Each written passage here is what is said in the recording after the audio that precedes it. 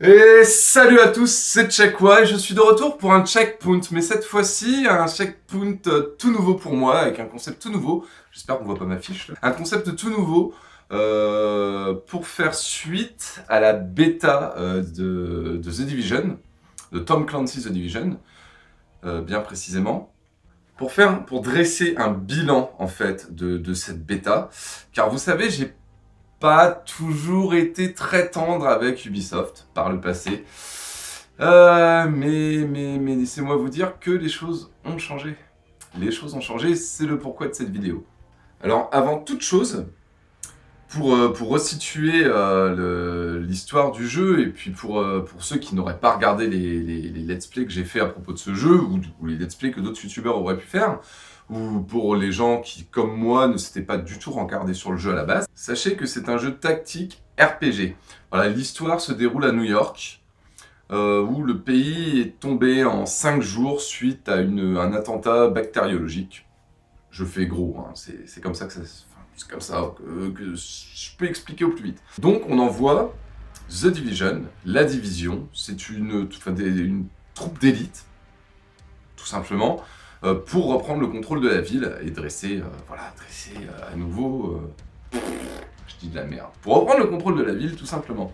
Donc c'est un jeu, vous pouvez le faire en solo, mais c'est vrai qu'en coop, c'est là qu'il prend tout son ampleur. Pour, pour, pour aussi situer un petit peu le background du jeu, le jeu a été édité par Ubisoft Annecy.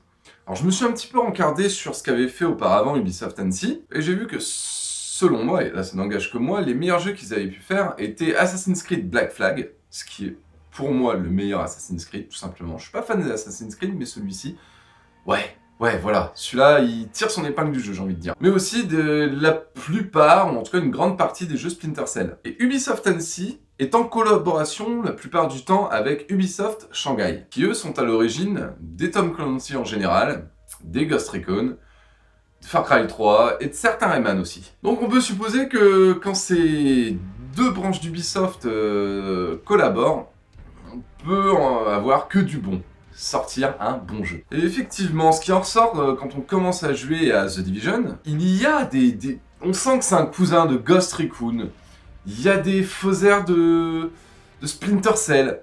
Je vous rassure, aucun, aucun air de ressemblance avec Rayman ou les lapins crétins même si j'adore Rayman, mais c'est pas du tout le même style de jeu. Alors mes débuts sur ce jeu, qui au demeurant euh, était un jeu que je n'attendais pas, je m'étais peu rencardé, j'avais regardé un trailer et je m'étais dit, ouais, quand Ubisoft, quand ils montrent des trailers, on est souvent euh, très loin de la vérité, du rendu final.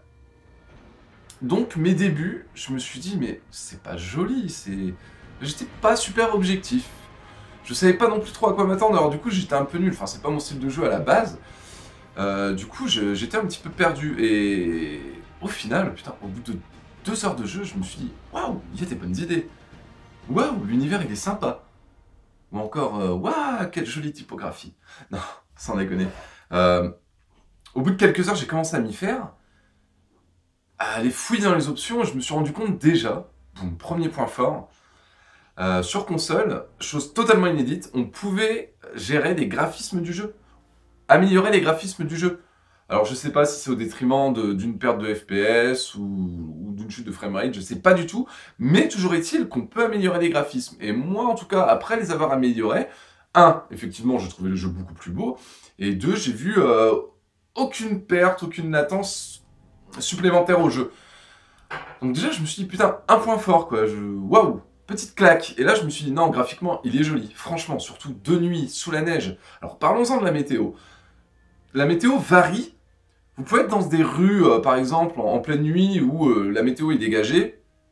Il y a un petit peu de neige par terre, parce que ça se passe en hiver et tout et tout. Mais d'un seul coup, une tempête de neige va s'abattre. C'est fini, vous verrez plus à 5 mètres devant vous.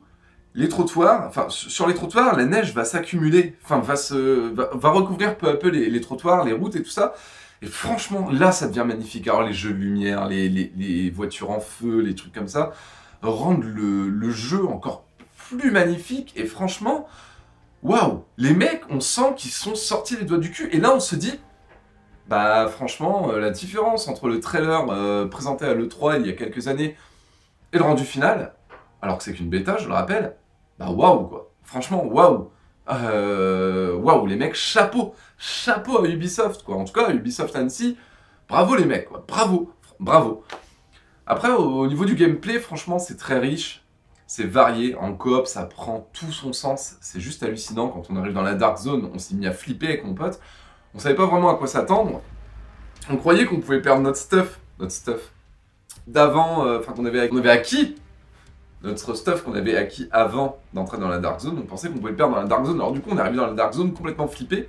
Or, on avait tort. On perd juste le stuff qu'on cumule dans la Dark Zone, ils sont supputés dans la Dark Zone. On n'a pas eu le temps, de, le stuff qu'on n'a pas eu le temps d'héliporter. Bref.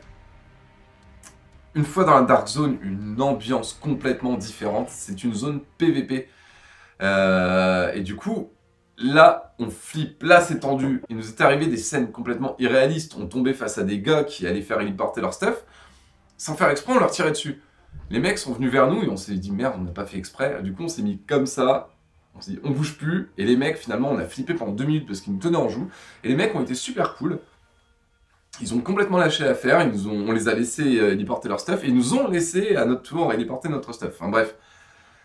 Expérience complètement ouf, vraiment euh, limite. Euh, quand, quand on est dans cette zone, on a l'impression d'être dans un jeu massivement multijoueur et déjà poussé, quoi. Déjà pour une bêta déjà vraiment poussée.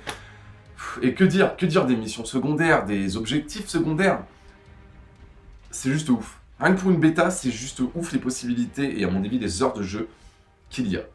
Alors donc, le jeu complet, je n'imagine même pas. L'univers, franchement, que ce soit les graphismes, la météo, les musiques, tout, c'est une ambiance, c'est une ambiance sonore, une ambiance visuelle qui nous plonge vraiment dans le New York hivernal. C'est un truc de ouf.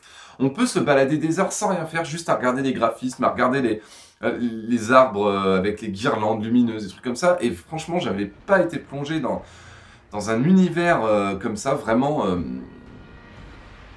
transporté depuis mais des, mois, voire des années. Franchement, même ce que j'ai eu avec Fallout 4, c'était rien à côté de ça, quoi. Pourtant, c'était le jeu de l'année pour moi. Donc voilà, c'est complètement surréaliste. Alors pour finir, je pense très sincèrement qu'Ubisoft met la barre très haute. Très haute. On peut faire tout le jeu en coop, et là c'est déjà un bon point. Aussi, on peut le faire en solo. Mais bon, c'est sympa, c'est super sympa, mais c'est quand même mieux de le faire en coop, je, je vous le cache pas. Ubi a mis la barre très haute et par conséquent, je voudrais revenir sur tout ce que j'ai pu dire de mal sur Ubisoft. Très honnêtement, c'est un gros mea culpa quoi. Je, ils m'ont sidéré avec ce jeu et je pense sincèrement que là, on va avoir le jeu de l'année. Le jeu de l'année, je m'engage pas. Je pense que pour la première fois de ma vie, euh, je pourrais peut-être acquérir un season pass. J'en sais rien. C'est waouh, c'est waouh les mecs. Merci. Merci Ubisoft. Franchement, waouh, merci Ubisoft Annecy. Vous avez géré. Je suis impatient d'être dans un mois et trois jours pour, pour mettre la main sur ce jeu et me lancer à cœur perdu dans cet univers vraiment prenant, vraiment réaliste, vraiment. Oh, putain, j'ai pas de mots. Je, je trouve même plus le mot que je voulais, quoi. C'est immersif. Voilà, immersif à souhait. Bref, merci Ubi. Désolé pour tout ce que j'ai pu dire sur vous ce jeu, ça va être une tuerie et je pense sincèrement que ça peut être le jeu de l'année.